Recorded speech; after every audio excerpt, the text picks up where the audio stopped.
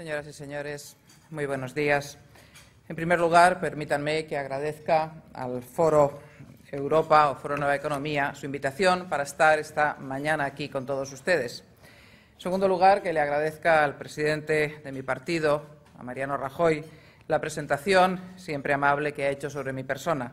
Y, en tercer lugar, pero no por ello menos importante, permítanme que agradezca a todos ustedes que hayan hecho un esfuerzo por estar esta mañana aquí, tanto a los que son de Madrid como a los que han hecho un esfuerzo suplementario de tener que hacer unos cuantos kilómetros desde Zaragoza para estar presentes esta mañana. Por tanto, mi doble agradecimiento. Señoras y señores, estimados amigos, esta mañana, en la cual voy a compartir con todos ustedes algunas reflexiones políticas, querría dividir mi intervención en dos partes. En primer lugar, expondré mi visión sobre la situación política nacional para, a continuación, entrar en el análisis de la situación de mi comunidad autónoma. Extremo este, que a nadie puede sorprender, dada mi doble condición, como ha quedado puesto de manifiesto en la presentación, de presidenta del Partido Popular de Aragón y candidata a la presidencia de su Gobierno.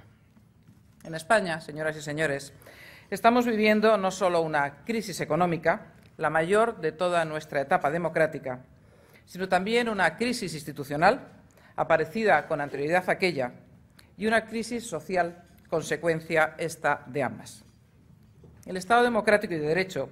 se fundamenta en el escrupuloso respeto a las normas y a las instituciones en las que éste se encarna. Pero el mandato del señor Rodríguez Zapatero, me atrevo a decir, que pasará a la historia de nuestro país como aquel en el que las instituciones fueron utilizadas por el Gobierno en función de sus intereses partidistas y donde algunas, precisamente por ello, se dejaron jirones de prestigio y credibilidad. Son muchos los ejemplos que podría traer aquí ahora, pero baste recordar las desgraciadas manifestaciones del presidente Zapatero en sede parlamentaria, diciendo en plena vorágine del debate del Estatuto catalán que el concepto de nación era un término discutido discutible, y discutible, o las realizadas por otros ilustres socialistas catalanes, indicando que si el texto de dicho estatuto no se adecuaba a la Constitución, era esta la que debía de ser reformada. Si algo ha caracterizado también a este periodo ha sido el irresponsable, en mi opinión, revisionismo de la etapa de la transición, empresa que, a mi entender, pilotada de manera impecable por Su Majestad el Rey, es el fundamento sobre el que se asienta nuestra democracia y la España actual. Con este revisionismo se ha pretendido transmitir a las generaciones más jóvenes que no vivieron aquella etapa una imagen distorsionada de la misma, como si los acuerdos a los que fueron capaces de llegar las fuerzas políticas de entonces hubieran venido impuestos por no se sabe muy bien quién, en lugar de ser el fruto de la responsabilidad y la generosidad de todas ellas, pero sobre todo de la firme determinación de todo un pueblo decidido a no ser nunca más la excepción de Europa y dispuesto a alcanzar en aquel entonces las mayores cotas de progreso y libertad posible, mirando con ilusión su futuro. Al mismo tiempo que se acometía este revisionismo, intentando enlazar la España de hoy con la de la Segunda República, se ponía especial énfasis en dividir a la sociedad española a través de medidas legislativas que en ningún caso eran mayoritariamente demandadas por la sociedad y que solo han pretendido en ocasiones arrinconar y aislar al Partido Popular, sin tener en cuenta el respeto debido a más de 10 millones de votantes que nos han venido dando su confianza en sucesivas elecciones generales. En algunos momentos hemos hemos podido ver cómo se ponía por parte del Gobierno un gran énfasis en la defensa de su fracasada alianza de civilizaciones mientras que a través de sus manifestaciones y, en algunos casos, de sus, de sus decisiones, defendían los principios de un trasnochado laicismo, con el objetivo de cambiar por la vía de los hechos lo dispuesto en el artículo 16 de la Constitución, que al mismo tiempo que define la confesionalidad del Estado, ordena a los poderes públicos tener en cuenta las creencias religiosas de la sociedad española. Tengo que recordar también, como el señor Rodríguez Zapatero, a su llegada a la Moncloa, imputó las tensiones existentes con los partidos nacionalistas a la política del presidente Aznar y afirmó en su primer debate de investidura que el cambio de talante que él iba a aplicar terminaría con aquellas. Pues bien, transcurridos más de seis años desde entonces, estamos asistiendo al rechazo por parte de los socialistas curiosamente con la misma fuerza que antes lo defendieron, del modelo del gobierno tripartito y por cuyo mantenimiento no se dudó desde el Gobierno de la Nación en forzar la interpretación de los límites de nuestra Constitución, viéndose obligado el Tribunal Constitucional, con las tensiones de todos conocidas, a hacer una interpretación del texto del Estatuto de Cataluña que a casi nadie ha dejado satisfecho. No voy a ocupar, señoras y señores, mucho tiempo en hablar de la crisis económica que vivimos, pero permítanme recordarles que la situación en la que nos encontramos es fruto de la tardanza en su reconocimiento y del error en su diagnóstico. Nadie discute que el origen de la misma ha tenido un carácter internacional, pero también es cierto que el Gobierno ha perdido más de un año negando, en primer lugar, la existencia de la misma, para después, con sus medidas desacertadas, llevar a la economía española a una situación de déficit público y deuda que ha generado la desconfianza no solo de los mercados, sino también de nuestros socios europeos. Y precisamente han sido las instituciones europeas las que han obligado al Gobierno el pasado mes de mayo a cambiar su política económica. La crisis social a la que en principio me he referido se caracteriza, a mi entender, por dos aspectos. En primer lugar, por la crisis de confianza instalada en la sociedad española y la falta de fe tanto en su futuro como en el de España como empresa, colectiva. Y, en segundo lugar, por la situación de angustia y desamparo en la que están viviendo muchas familias españolas que nunca imaginaron verse en semejante situación. Según los datos estadísticos, el 20,8 de los residentes en España se encuentran bajo el umbral de la pobreza relativa.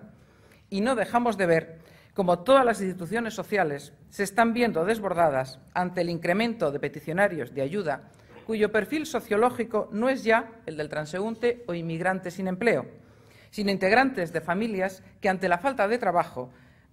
y de recursos para los gastos más elementales, se ven obligados a acudir a los comedores sociales. No quiero con esta introducción llevar a su ánimo la desesperanza y el desánimo, sino más bien lo contrario, pero es difícil aplicar los remedios adecuados para la resolución de un problema si antes no se ha sido capaz de diagnosticar adecuadamente el mismo, por lo que tras este esquemático diagnóstico toca ahora esbozar las líneas maestras de actuación que permitan salir cuanto antes de esta triple crisis. Señoras y señores, habrá quien piense que hablar de regeneracionismo en estos momentos nos pudiera retrotraer al siglo XIX. No es esa mi intención ni tan siquiera la de recuperar un término o un concepto acuñado por el ilustre aragonés don Joaquín Costa.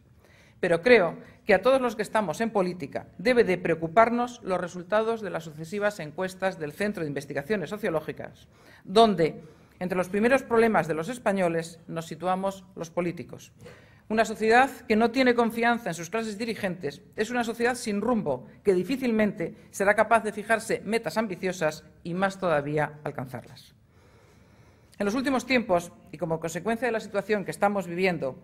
parece estar tomando forma una corriente de opinión que pretende situar el origen de nuestros males en la transición, en el modelo de Estado o incluso en los supuestos vicios históricos de nuestro carácter nacional.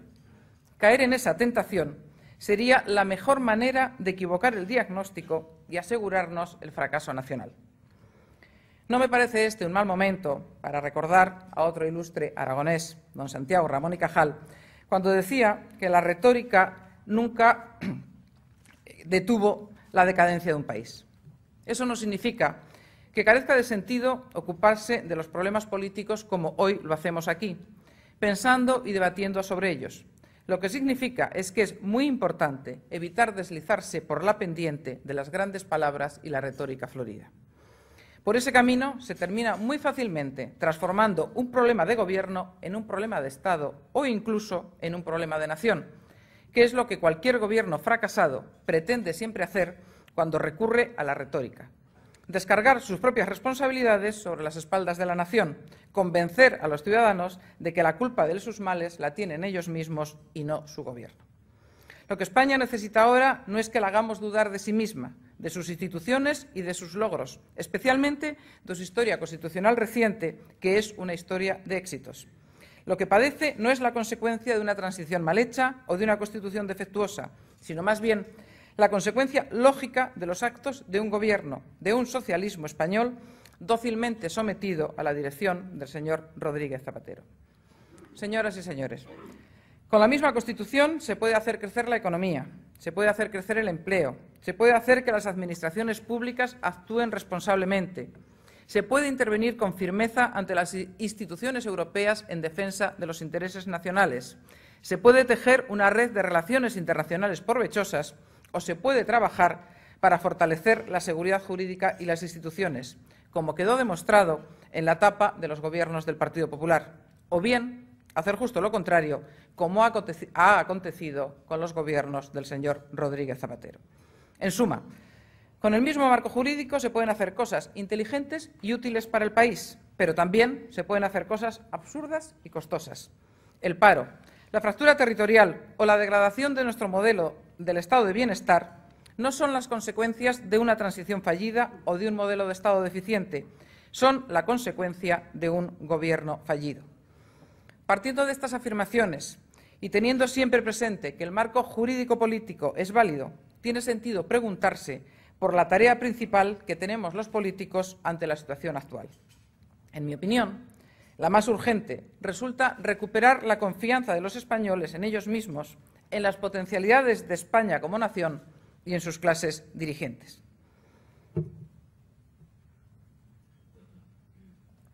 Pero esto no podrá hacerlo en solitario el Partido Popular cuando lleve al Gobierno. Deberá contar con la colaboración de las otras fuerzas políticas, especialmente del que entonces será el principal partido de la oposición, el PSOE para volver a la senda del espíritu del consenso y no del disenso, a las políticas de integración y no de disgregación, a las políticas de unión y no de división de la sociedad. Soy muy consciente de que esto puede parecer utópico y también soy consciente de que ello solo será posible en el post-zapaterismo. Pero si no queremos convertirnos en un país que funcione a pesar del Gobierno y de sus administraciones públicas, la tarea es inaplazable y las exigencias de los ciudadanos inexcusables. La crisis económica que en tantas dificultades ha puesto a las familias y empresas españolas va a obligar también, mejor dicho, está obligando ya a revisar las políticas de gasto de las administraciones públicas españolas. Pero si ello es importante, todavía lo es más, en mi opinión, la revisión del modelo de funcionamiento de dichas administraciones. En España, las políticas de bienestar dependen fundamentalmente de las comunidades autónomas y, por tanto, la necesaria adecuación de dichas políticas a la situación actual implica necesariamente una revisión no del marco jurídico constitucional de nuestro Estado autonómico, sino de la puesta en práctica del mismo.